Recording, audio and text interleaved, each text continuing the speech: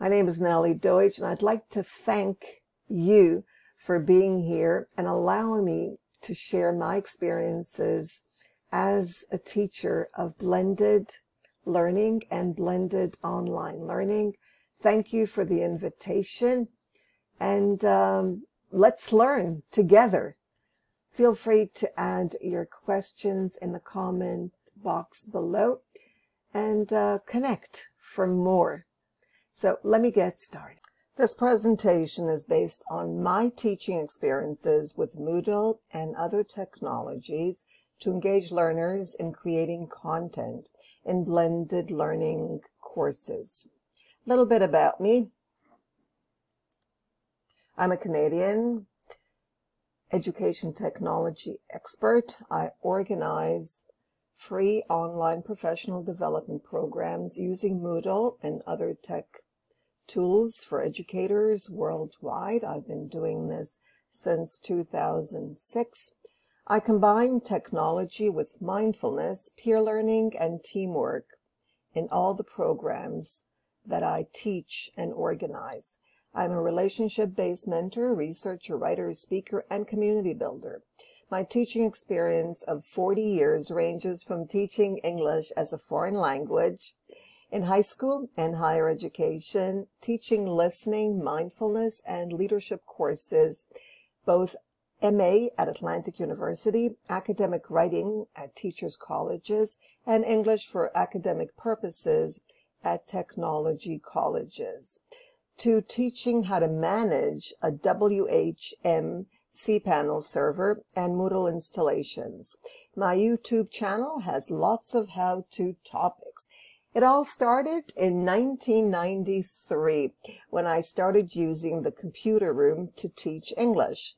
This is now called Computer Assisted Language Learning or CALL. In 2003, I developed my own Moodle site and started creating formal web quests. I also began Moodle as an admin and started teaching courses on Moodle. 2009, I started training teachers on how to use Moodle as teachers and administrators. I also started my dissertation research on instructor experiences with implementing technology in blended learning courses in higher education. In 2010, I completed my um, research and was awarded a Doctor of Education in education leadership, specializing in curriculum and instruction. My focus was on blended learning.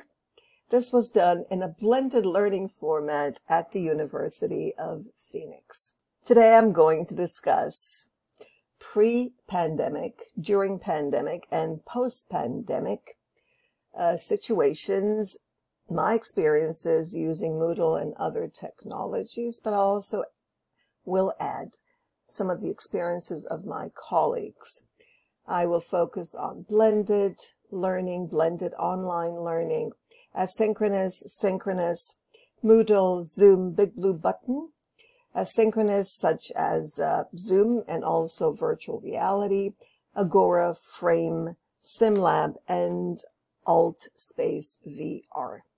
Let's begin with pre-pandemic. During the pre-pandemic era, I use Moodle, and I've been using it, as I indicated, since 2003. I also taught face-to-face, uh, which was most of the hours that my students and I met, but we also met on Moodle so that I could reach each and every one of them. And that was my purpose with Moodle, to be able to connect with each student and cater to their specific needs. It also allowed me to help students create content rather than just uh, listen to me or learn whatever I was teaching them. I wanted them to also be involved. The pre and during pandemic, I followed both, as I mentioned, blended. In the pre and during, it was fully online. Uh, some of the differences between hybrid or blended and fully online, blended online learning. The blended indicates that they combine something else. With the blended learning, we combine the face-to-face -face or in-person And with the online component, this could be a live online class. It could be even emailing. Uh, it could be messaging uh, systems. It could be on Facebook or other LMSs such as Moodle, of course, Canva, Blackboard. It's in person and any kind of online combination with both synchronous and asynchronous. And this is done depending on the school, of course, on a regular basis or on a weekly or monthly basis. With blended online learning, which was during the pandemic, we were all at home, lockdown. It was all fully online where we used any means possible with my colleagues. It was uh, messaging systems, email systems, anything that could, even by phone, that they could connect with their students. I used Moodle because I'd used it before and I was prepared. I call it blended online learning because we blend both the synchronous with the asynchronous. The asynchronous in my case was Moodle. It could be Google Classroom, of course. The synchronous could be any system, Zoom alternatives such as Jitsi, that's during the pandemic. Let's go on to my way of teaching. My way was for learners to create content. I used Moodle for engagement. Students were learning by teaching just like me. I was learning just by teaching. I was getting information, finding ways to present the work, to engage learners. And that's what my students learned to do as well. So I was actually teaching my students how to be teachers and they were learning in the process. That's called peer-based learning. They also used teamwork. They collaborated using Google Docs and other collaborative platforms so that they didn't work alone if they wished. Some students like to work alone, and that is fine as well. During the pandemic, we were fully online. And again, we used the same system. Learning by teaching, students were able to create content and teach each other, whether individually or in teams. They used various tools such as recorders to create video tutorials. That's how they were teaching fully online through videos. They created the videos by screen sharing the way I'm doing it right now, using Loom, Edpuzzle, Screencast-O-Matic, which is what I'm using currently, Camtasia, which is quite expensive, but these are all free tools there are time limitations, such as 10 minutes for some. Flipgrid, which is now called Flip, Vimeo, Awesome Screen Recorder, Screen Capture, TechSmith Capture, Padlet, Screencastify, Hippo, and there's so many others. I want to go through some of the differences, as I mentioned, asynchronous and synchronous, which is a blend. This is also a blend. If it's fully online using asynchronous and synchronous, then it's bold blended online learning design. So the platform, notice, with Zoom, it's a one-time engagement. You can't continue Zooming all day.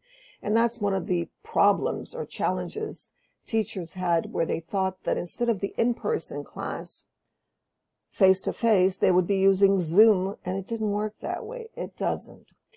Uh, a virtual live online class is limited. It has lots of limitations. Even though you can engage students, it's difficult to sustain the information because the practice is not there. You can't practice in one hour. What you can do on an asynchronous system such as Moodle with ongoing engagement and of course practice. And the content is right there. You can't add the content to Zoom. It won't stay there, but it will stay on Moodle. And that's why a learning management system is so powerful. The access to Zoom is at a specific time. The access to Moodle is 24-7, whenever you want, in the middle of the night, in the morning, in the afternoon. It's okay. Devices, well, for Zoom, you can use mobile, desktop, and your browser. For Moodle, you can use a Moodle app or the Moodle in a browser. Or up to 2021, you could use the desktop and your browser. With offline, with Zoom, there's the recording. With Moodle, there's the app for the offline. Post-pandemic is the future of education. Right now, we're in post-pandemic. We, well, pandemic is still here. Uh, COVID is still here, but um, we're managing somehow. It's not as powerful as was at the beginning. So what is the future of education? In my opinion, of course, these are all from my experiences, it will continue the way I've been doing it with collaboration and peer learning. Students will become teachers and teachers are learners by default because that's why they probably went into teaching so that they could learn. That's what teachers do. They learn and teach what they learn. So students who are there or here to learn, they're in school to learn, uh, will be doing the teaching. And they will be creating contact.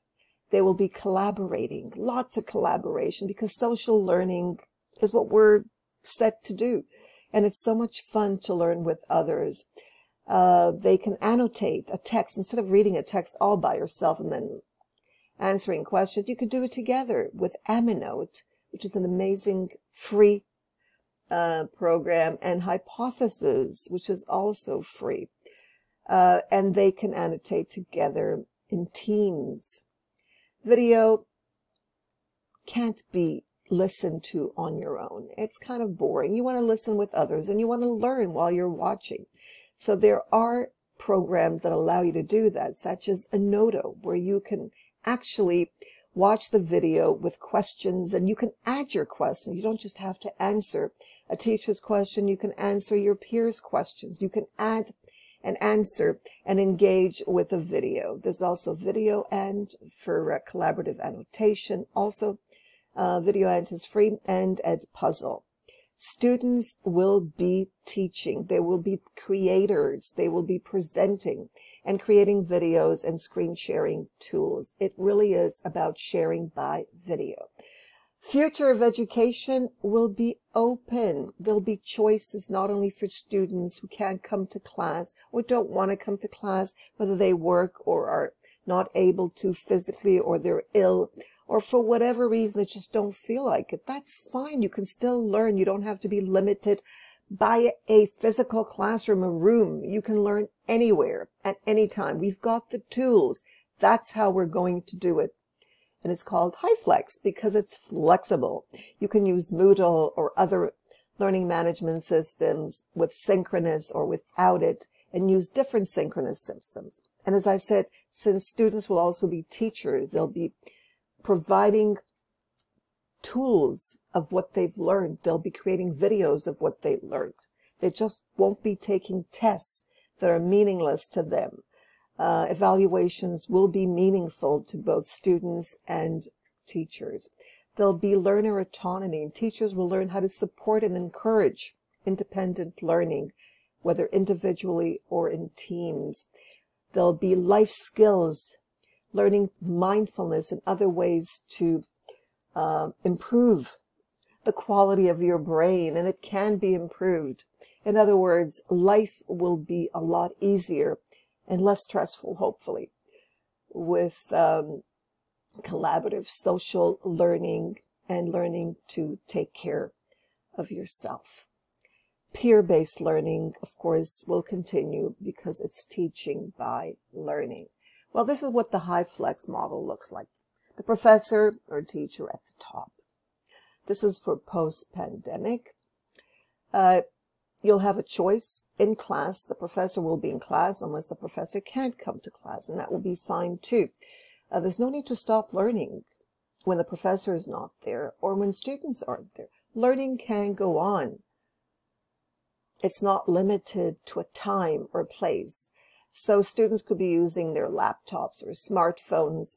Uh, they can record the Zoom themselves or the teacher can record and share. Uh, the teacher will share the presentations. There'll be live, as I said, Zoom meetings, but the Moodle, the asynchronous will be available with all the content and the engagement because as you noticed before, Zoom is limited to a time. And uh, of course, uh, to a place. You can't move from your seat unless you're watching the recordings. Student will have a choice whether to be in person, watching the live Zoom, or in class, or virtually watching the live Zoom or watching the recordings on Moodle. Students will be able to work on Moodle in class, collaborative with others, or they can study with others, but where everyone is in their own place. They don't have to be in one place at one time. And this is really, really important. So learning by teaching will continue. Peer-based learning where students teach one another will continue and collaborative learning will continue. Um, one of the things that students will also do, but also teach, and this is something that I did with teachers during the uh, pandemic and post-pandemic, is teach them how to create their own Moodle course. But this is for students as well. Students will be creating courses for topics that interest them, and they'll be adding each other. Those that are interested will go into their courses. So there'll be lots of uh, Moodle courses or other LMSs where students do the work. And this is all possible. Once students learn what's behind an online course, it'll be a lot easier for them. So they'll learn how to create a syllabus and add their work there. A Moodle course will consist of the name of the course. Students can do that. The topic sections, as many topics as they wish, depending on the length of the course. Descriptions of the topics, whether by dates or weeks. Resources, students will add resources, which is the content. Activities, various engaging activities for students and maybe for teachers. I mean, teachers could be students in the students' courses as well. And the grade book setup, students will set up the grades. Yes, they'll come up with it, the rubrics and so on. Course completion, uh, the criteria for that. Badges, they'll create badges and the criteria for badges based on activities. And they'll also create a certificate for those that complete the course. So teachers will be teachers and students will become teachers. And then there'll be weekly digital badges or badges based on other criteria, not by week, by topics, sections, and so on. And a certificate will look like this. This is an example of an online digital certificate. In addition to that, virtual worlds like Meta are mushrooming up as we speak and lots of free ones and students will be able to create their own learning environments using virtual world meetings. They'll create the buildings, build the activities, and invite students and teachers and faculty and so on to come into their worlds and learn from them. Well, actually with and from them. So immersive learning is the future in virtual worlds. And the virtual worlds are uh, VR, virtual reality, Second Life, and other virtual worlds. And there are many of them. If you're interested in learning more about them and the ones that are free, feel free to contact me. I'll be happy to help in any way that I can. These are some of the references. You can take a look at them. This PowerPoint presentation will be available for those who would like it. Thank you for watching. Have a wonderful day.